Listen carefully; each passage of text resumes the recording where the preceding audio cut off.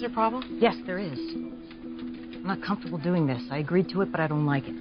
What exactly aren't you comfortable with? Uh, well, the Bill of Rights being violated, for one. If you're going to be doing anything grossly illegal, please. We'll make sure we notify you so you can leave the building.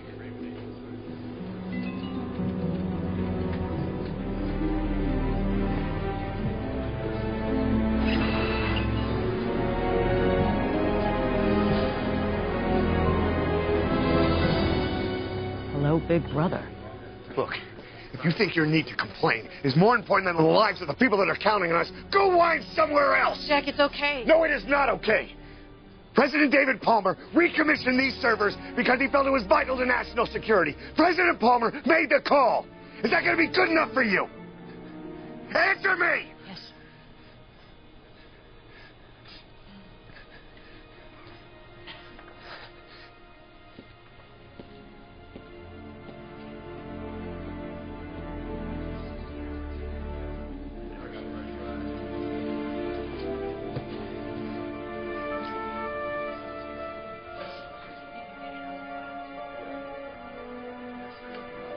There's something really wrong with him.